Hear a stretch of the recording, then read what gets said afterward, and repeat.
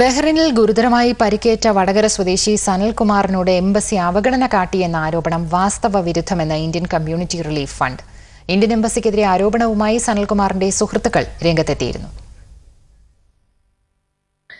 ബഹ്റൈനിൽ നിന്നും ഗുരുതരമായി പരിക്കേറ്റ് നാട്ടിലേക്ക് കൊണ്ടുപോയ സനൽകുമാറിന്റെ കാര്യത്തിൽ ഇന്ത്യൻ എംബസിയുടെ ഭാഗത്തുനിന്ന് സഹായം ലഭിച്ചില്ല എന്ന് സുഹൃത്ത് മനോജിന്റെ ആരോപണം അടിസ്ഥാനരഹിതമാണെന്ന് I C R F chairman John ഐബ് അഭിപ്രായപ്പെട്ടു.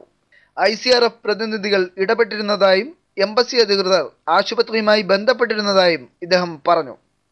ശ്രീ സതീന്ദ്രൻ അതുപോലെ തന്നെ സാമൂഹ്യ പ്രവർത്തകനായ പി ടി നാരായൺ ഇവരെല്ലാം പ്രോപ്പറായിട്ട് ഇത് ഫോളോ അപ്പ് ചെയ്യുന്നുണ്ട്. അവരോട് ഞാൻ പറഞ്ഞു എന്ത് ആവശ്യമുണ്ടെങ്കിലും എന്നോട് പറഞ്ഞാൽ മതി. ഐ സി ആർ എഫിന്റെയോ എംബസിയുടെ എന്തെങ്കിലും ആവശ്യമുണ്ടെങ്കിൽ തീർച്ചയായിട്ടും ഞാൻ ഇടപെട്ട അത് ചെയ്തു തരും എന്ന് പറഞ്ഞിട്ടുണ്ട്. പക്ഷേ എംബസി ഇടപെട്ടില്ലെന്ന് പറയുന്നതിനകത്ത് എനിക്ക് എനിക്ക് വിശ്വാസമില്ല. കാരണം ഞാൻ പലപ്പോഴും ഈ വിവരങ്ങൾ എംബസി പറയുമ്പോൾ അവർ ക്ലോസ് ആയിട്ട് എന്നും ഡോക്ടേഴ്സിനെ വിളിച്ച് ഇയാളുടെ വിവരം അന്വേഷിക്കുകയും പേഷ്യന്റിനെ നാട്ടിലോട്ട് കൊണ്ടുപോകുന്നതിന് മുമ്പ് തന്നെ കൊണ്ടുപോകാൻ പറ്റുമോ എന്ന് ഡോക്ടറോട് അന്വേഷിച്ചു. രോഗിയെ നാട്ടിലേക്ക് കൊണ്ടുപോകാൻ വൈകിയതിന്റെ കാരണങ്ങളും ഇദ്ദേഹം വ്യക്തമാക്കി. ഒരു എയർലൈനും സ്ട്രക്ചറിൽ ആക്സെപ്റ്റ് ചെയ്യാൻ തയ്യാറല്ല. അതാണ് സൽകുമാറിന്റെ പോക്ക് ലേറ്റ് ആയാലും ലേറ്റാകാൻ ഒരേ ഒരു കാര്യം ഇത് തന്നെയാണ് ഐ സി ആർ എഫിന്റെ വകയായി സഹായം നൽകിയതായും ഇദ്ദേഹം പറഞ്ഞു. അതിനുള്ള ഇൻഷുറൻസ് പരിരക്ഷ എന്നുള്ളതാണ് ഐ സി ആർ എഫിന്റെ വേറൊരു ജോലി. അത് ഐ സി ആർ എഫിന്റെ വൈസ് ചെയർമാന് മാത്യു ജോസഫാണ്. അദ്ദേഹം അത് ഭംഗിയായിട്ട് നിർവഹിച്ച് ഫൈവ് ഹൺഡ്രഡ് ഡിനാർ സാങ്ഷൻ ആക്കിയിട്ടുണ്ട്.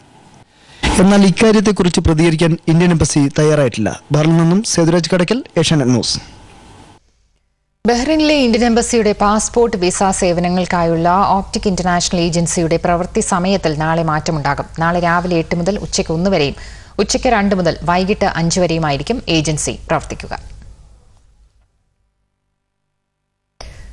ബഹ്റിനിൽ വിദേശ തൊഴിലാളികളുടെ എണ്ണം കുറയുകയും തൊഴിലാളികളുടെ എണ്ണം കൂടുകയും ചെയ്തുവെന്ന് റിപ്പോർട്ട് ലേബർ മാർക്കറ്റ് റെഗുലേറ്ററി അതോറിറ്റിയാണ് ഈ വർഷത്തെ ആദ്യ മൂന്ന് മാസത്തെ കണക്കുകൾ ഉദ്ധരിച്ച് റിപ്പോർട്ട് പുറത്തുവിട്ടിരിക്കുന്നത്. ബഹ്റൈനിലെ labour market regulatory authority report അനുസരിച്ച് രണ്ടായിരത്തി പതിനൊന്ന് ജനുവരി മുതൽ മാർച്ച് വരെയുള്ള കണക്ക് പ്രകാരം വിദേശി തൊഴിലാളികളുടെ എണ്ണം കുറയുകയും സ്വദേശി തൊഴിലാളികളുടെ എണ്ണം കൂടുകയും ചെയ്തു. വർക്ക് വിസയിൽ കഴിഞ്ഞ വർഷത്തേക്കാൾ എട്ട് പോയിന്റ് രണ്ട് ശതമാനം ഈ വർഷം കുറഞ്ഞു. രണ്ടായിരത്തി പതിനൊന്നിലെ ആദ്യ മൂന്ന് മാസ കണക്കനുസരിച്ച് ഇരുപത്തി ഒൻപതിനായിരത്തി മുന്നൂറ്റി എഴുപത് വിസകൾ അനുവദിച്ചു.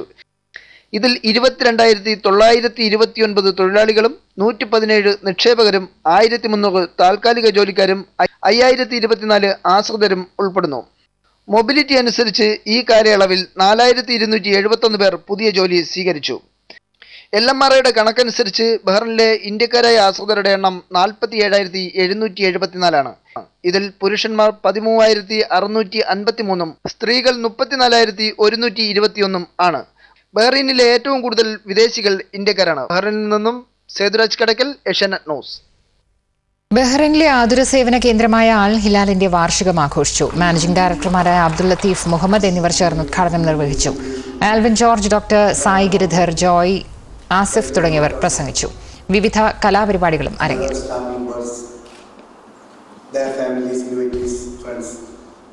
പുകവലി നിർത്താനുള്ള മാർഗനിർദ്ദേശങ്ങളുമായി ബഹ്റൈനിലെ അമേരിക്കൻ മിഷൻ ആശുപത്രി നാളെ സൗജന്യ ക്ലിനിക് സംഘടിപ്പിക്കുന്നു. ലോക പുകയില വിരുദ്ധ ദിനാചരണത്തിന്റെ ഭാഗമായാണ് നടപടി. കൂടുതൽ വിവരങ്ങൾക്ക് ഒന്ന് ഏഴ് രണ്ട് അഞ്ച് മൂന്ന് നാല് നാല് ഏഴ് എന്ന നമ്പറിൽ വിളിക്കണം.